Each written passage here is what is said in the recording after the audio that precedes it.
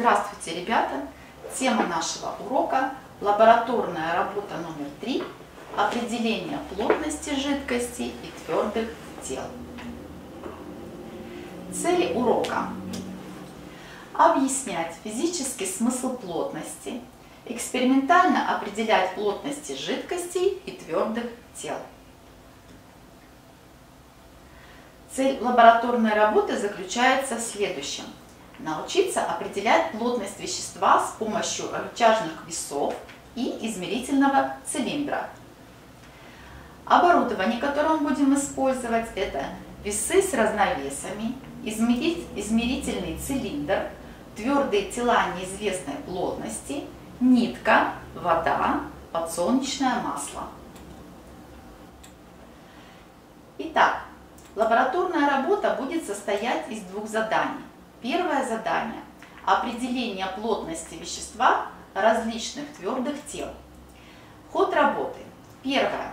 Определите объем тела с помощью мензурки по формуле V равно V2 минус V1, где V1 – начальный объем воды, V2 – объем воды с телом. Второй пункт. Определите массу тел с помощью весов. Третий. Определите плотность тела по формуле ρ равно масса разделить на объем. Четвертый пункт. По таблице плотности определить название веществ. Итак, ребята, давайте начертим таблицу. Таблица состоит из следующих колонок. Номер по порядку, то есть у нас будет с вами три опыта при выполнении лабораторной работы. Затем масса тела в граммах. Следующая колонка В1 это первоначальный объем жидкости, В2 объем жидкости и погруженное в него тело. В2 минус В1 это будет объем тела, которое мы погрузили в жидкость. Следующая колонка – плотность вещества, которую вам нужно будет рассчитать в граммах на сантиметр в кубе. А в следующей нужно перевести грамм на сантиметр в кубе килограмм на метр в кубе. И по таблице плотности определить название вещества и вписать в последнюю колонку. Итак, опыт номер один. Значит, мы возьмем мензурку для определения объема тела. Первоначально мы должны определить цену деления мензурки или мерного стакана. Для этого нужно взять два ближайших штриха, на которых написаны цифры. От большего значения отнять меньшее значение и разделить на количество делений. Например, я возьму два деления 60 и 70. Между этими делениями с подписанными цифрами находится 10 делений. То есть я от большего числа отнимаю меньше. 70 минус 60 и делю на количество делений на 10, получаю 1. То есть цена деления моего мерного стакана или мензурки 1 сантиметр в кубе. Далее я определяю объем, первоначальный объем, который налит в мензурке. Он обозначен V1 и равен 80 сантиметров в кубе. Далее погружаем исследуемое тело в этот сосуд с водой, и уровень жидкости поднимается до некоторого значения. Определяю, что теперь объем воды В2 стал 90 сантиметров в кубе. Для того, чтобы определить объем тела, мне нужно от объема В2 отнять объем В1. 90 минус 80, объем нашего тела, которое мы будем исследовать, равен 10 сантиметров в кубе. Следующим этапом нужно определить массу тела с помощью рычажных весов. Для начала, прежде чем приступить к измерению, нужно уравновесить весы.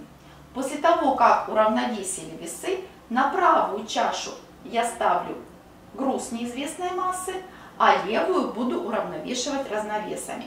В данном случае мое тело уравновешивается тремя гирями, массами 20, 5 и 2 грамма.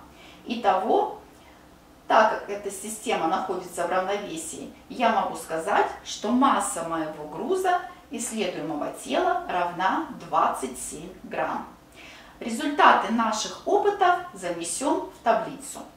Итак, первый опыт. Масса тела 27 грамм. Первоначальный объем жидкости, который был налит в мерный стакан, 80 сантиметров в кубе. Объем жидкости вместе с телом В2 90 сантиметров в кубе. А объем тела, который мы с вами определили, получился 10 сантиметров в кубе. Рассчитаем плотность вещества. Плотность вещества определяется по формуле масса разделить на объем. Итак, масса 27 грамм делим на 10 сантиметров в кубе, получается 2,7 грамм на сантиметр в кубе. Далее нам предстоит перевести граммы на сантиметр в кубе в килограммы на метр в кубе. Для этого 2,7 я умножаю на 1000. Получается 2700 килограмм на метр в кубе. В следующей колонке нужно написать, из какого вещества изготовлен данный цилиндр. Для этого я воспользуюсь таблицей плотностей. Итак, рассмотрев таблицу плотностей, нахожу, что плотность 2700 кг на метр в кубе имеет алюминий. Значит, наш цилиндр, который мы исследовали, является алюминием. Опыт номер два.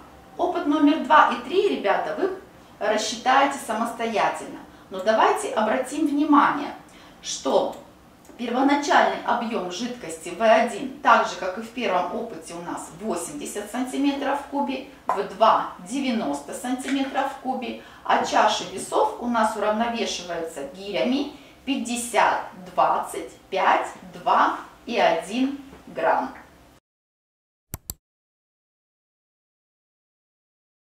Третьем опыте исследуемое тело имеет такой же объем, если вы обратили внимание, рассмотрев мензурки, но другую массу. Масса уравновешивается данного вещества гирями 50, 20, 10, 5 и 2 гирьки по 2 грамма.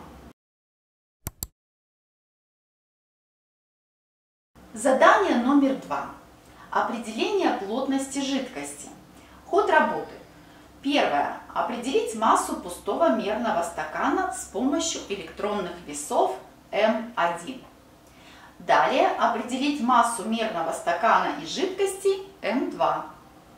Третий пункт. Определить массу жидкости М2 минус М1 и обозначить буквой М. Далее определить объем жидкости рассчитать плотность тела по формуле ρ равно масса разделить на объем. По таблице плотностей определить название веществ. Итак, начертим таблицу номер 2. В первой колонке номер по порядку. Э, в данном случае мы проведем два опыта. То есть мы будем определять плотность двух жидкостей. Следующая колонка – масса пустого стакана в граммах. Далее масса жидкости из стакана М2 тоже в граммах. В следующей колонке мы должны будем определить массу жидкости, обозначенной буквой М в граммах. Далее объем жидкости в сантиметрах кубических. Рассчитаем плотность вещества в граммах на сантиметр в кубе и в килограммах на метр в кубе. И используя таблицу плотностей, определим название вещества, налитого в мерный стакан.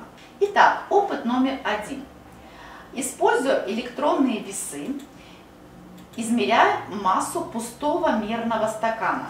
Масса этого стакана получилась 83,1 грамма. Наливаю в стакан 100 мл жидкости. 100 мл. И измеряю массу вторую.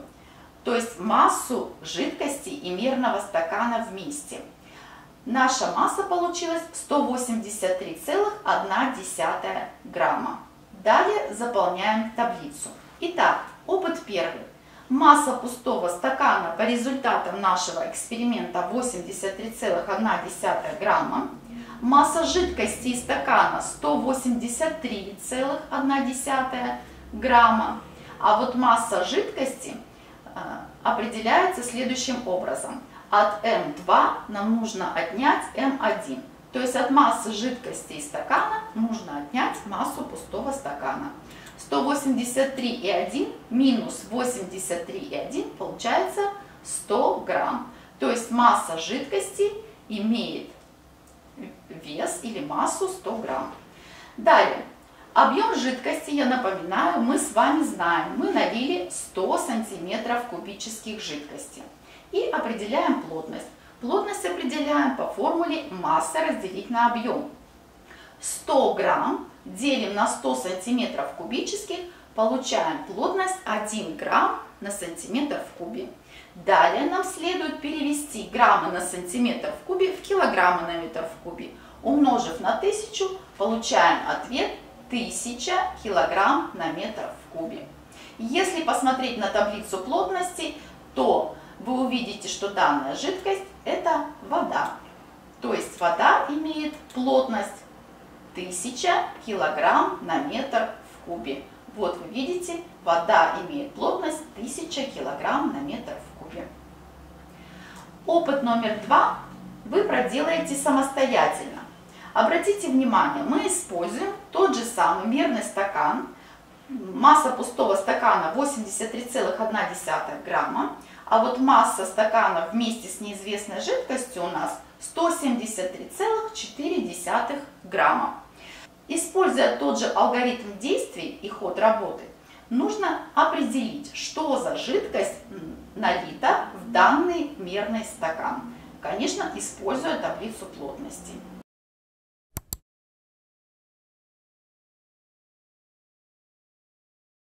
После выполнения данной работы следует сделать вывод. Назовите результаты своих измерений и вычислений. Сверьте вычисленный результат плотности тела с табличным значением. Желаю успехов при выполнении данной лабораторной работы. Спасибо за внимание.